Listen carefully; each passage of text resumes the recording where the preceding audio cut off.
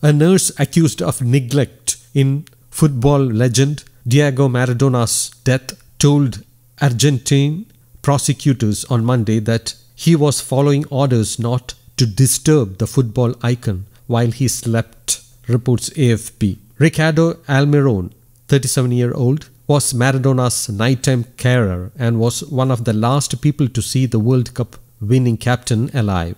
He suspected of lying when he claimed Maradona was sleeping and breathing normally hours before he died. An autopsy revealed that he was dying at that time. Almiron is one of seven people under investigation for manslaughter after a board of experts looking into Maradona's death found he had received inadequate care and was abandoned to his fate for a prolonged agonizing period. The football legend died of a heart attack last November at the age of 60, just weeks after undergoing brain surgery for a blood clot. Almiron arrived just after midday with his lawyer Franco Chiarelli at San Isidro Public Prosecutor's Office on the outskirts of the capital, Buenos Aires. Speaking to journalists after the interview, Chiarelli said Almiron always treated Maradona as a patient with a complex psychiatric condition but was never told about an issue related to heart disease. He was told by his superiors not to disturb the patient. My client had the wisdom to carry out his tasks without the patient